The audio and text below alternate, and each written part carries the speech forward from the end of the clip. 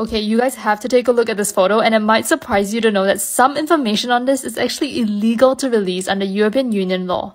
But what it is, is it's simply an infographic about this whiskey bottle released by a bottler called Compass Box, and it details the different whiskey components included in this blended whiskey. This seems fairly harmless, but why is it illegal? You see, under EU law, whiskey sellers can only disclose the age of the youngest alcoholic component in a drink.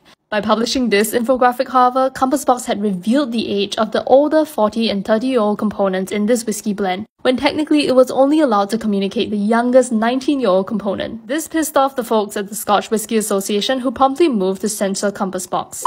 But okay, some people found this rule a bit odd because you could argue consumers would actually benefit from knowing the full information of every component in their product. Compass Box themselves protested this law and even launched a campaign to amend the legislation. Alas, the campaign was futile and the law remains unchanged to this day. But what do you think? Should Scotch whisky makers be allowed to disclose more details about their bottles? Let us know and follow to learn more about whiskey.